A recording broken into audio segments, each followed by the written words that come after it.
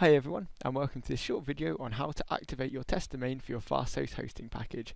The test domain allows you to see how your website will look regardless of where your domain's DNS is pointed.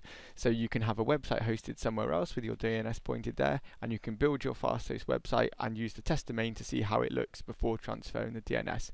Just bear in mind it doesn't work particularly well if you're using something like WordPress as it uses absolute paths and it uses the full domain name in that path so the DNS will affect that. So to activate it, log into your Fasthost control panel.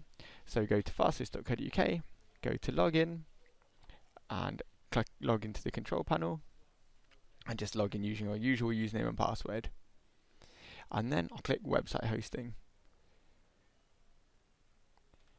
And I'm going to activate my test domain for boost.fasthostwebinars.com. And now here on the domains tab, click test domain enable. And that would just take a second. And there we go. So the test domain has been created. The address is displayed there. So you can now use that to see how your website looks on the Fasthost servers. You can also find that domain in the domains tab as well. It's just there as well.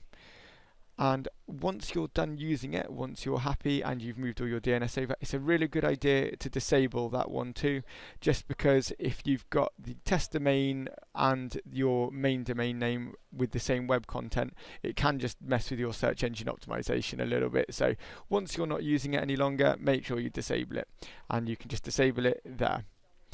That's the end of the video. Thanks very much for watching. Goodbye for now.